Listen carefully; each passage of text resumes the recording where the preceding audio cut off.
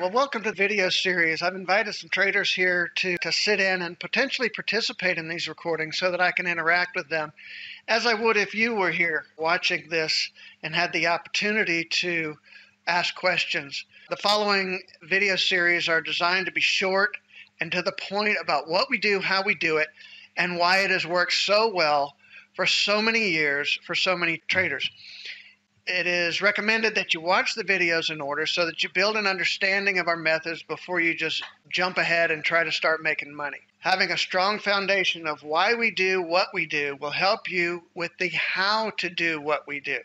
All right, having said that, if you just want to jump around from video to video, feel free to do so. But please understand if you do, I may reference something in a previous video that you chose not to watch, and therefore you might be a bit confused. Okay, so the first video, I'm going to talk about what we trade. Second video, I'm going to talk about the trade setups. Third video, I'm going to talk about the indicators that we use for those trade setups.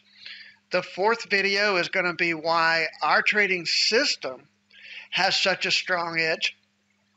Then we're going to talk about how to actually go about learning to do what we do.